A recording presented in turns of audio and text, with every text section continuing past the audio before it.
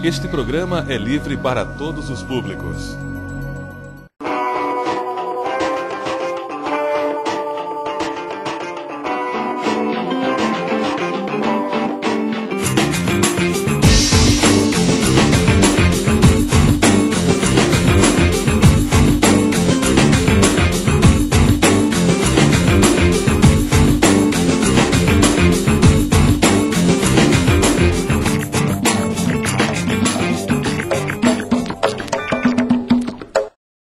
Olá, está no ar a Diversidade. E no programa de hoje vamos falar sobre teatro, poesia e memória.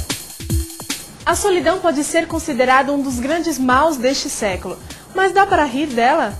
Dá sim. É o que o Grupo Eureka fez no espetáculo Beijo Molhado. Confira.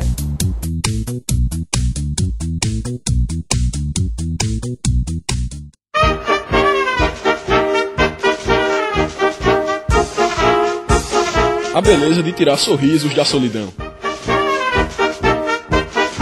O espetáculo Beijo Molhado, produzido pela Companhia de Teatro Eureka, chama o público a participar de uma peça onde a distância entre as pessoas é vencida com muita alegria. Durante as férias que nós temos, no mês de janeiro a fevereiro, a gente pensou como comemorar é, os nossos 10 anos. Então a gente escreveu esse texto, Beijo Molhado, pensando nas dificuldades do ser humano e mais ainda, pensando como encontrar possíveis soluções. Daí o tema central ser a solidão, né, e buscar cada vez mais a, a, a familiaridade, ou melhor, a célula máter, que é a família.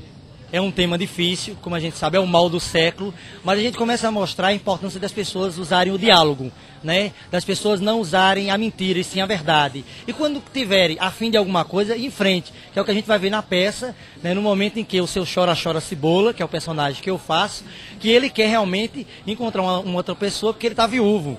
Daí então ele procura usar de artifícios entre as pessoas para chegar até a delegada da cidade, que é uma solteirona. Então quando você quer alguma coisa, vá atrás. Para quebrar a solidão, abra a boca para o mundo. Eu já sei o que eu vou fazer. Eu vou colocar um anúncio nos classificados grátis.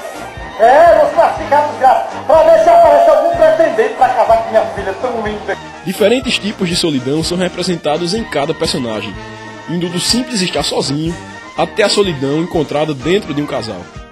Olha, eu acho que o público vai encarar muito bem essa ideia da solidão como reflexão realmente. Eu acho que quem hoje não vive numa, numa plena solidão, né? A gente não tem a solidão familiar, tem a, a, solidão do trabalho, tantas pessoas sofrendo aí pela rua. Então, eu acho que na nossa peça, Beijo Molhado, é, levamos em cena realmente um pouco de cada cidadão que está presente na rua, no trabalho, na família. E é dessa forma que as pessoas vão encarar essa perder essa solidão realmente, certo? A partir desse espetáculo a gente vai fazer com certeza as pessoas refletirem. Bem, é, o Pimba sempre é um, já falei, é um personagem que estava sozinho, né? Então, tentando dar esse golpe, o Pimba sempre realmente, ele acaba se envolvendo realmente de paixão pela senhorita risonha e consegue também ficar rico, mas aí além de levar essa riqueza de seu chora-chora, ele também leva é, para dentro de si um amor que ele não tinha, uma, uma, um aconchego que ele também não tinha na rua. Então ele perde essa solidão dele. Minha personagem é a do Raban Pimentaiva, né, a senhora Pimentaiva do Raban Jiboia. Né, ela é casada com o senhor Marteló de Jiboia, um homem bastante ciumento. Onde é um casal, eles são, formam um casal bastante desunido, eles brigam, brigam por qualquer coisa, né, por causa do ciúme. O público não fica parado e quebra a parede invisível que o separa do palco, onde os personagens convidam as pessoas a entrar na história. Olha, eu interpreto o palhaço Pimba Sempre, né? E o Pimba Sempre, ele é um personagem popular brasileiro, possamos dizer assim, um personagem de rua, né? Que é uma pessoa que não tem nada na vida, está na falência e nessas, nesses seus lances da, da questão da artística, de ser um palhaço, de ser um rezador, porque ele é um rezador, ele acaba se projetando socialmente a partir de um casamento que ele vai conseguir com a filha de seu chora-chora cebola, que é um homem avarento, né? E que quer casar a filha. Então, é, Pimba sempre ele aproveita essa, essa função, essa, essa coisa que o Chora Chora quer propor para a filha, de casar, para ter que ter um herdeiro, e o Pimba sempre é que vai herdar essa herança dele, conseguindo um casamento forçado.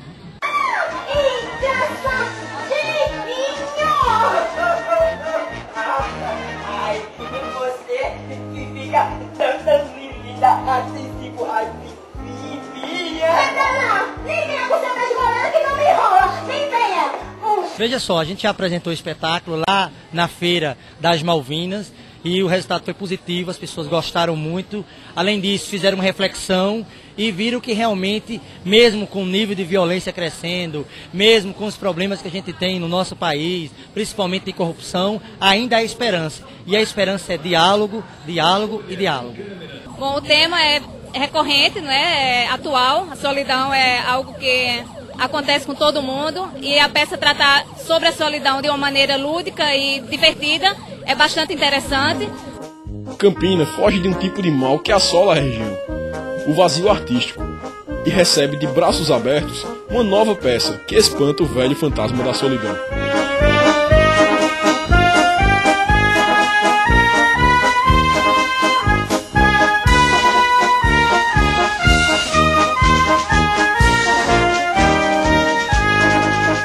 Daqui a pouco, Diversidade volta falando de poesia. Até já!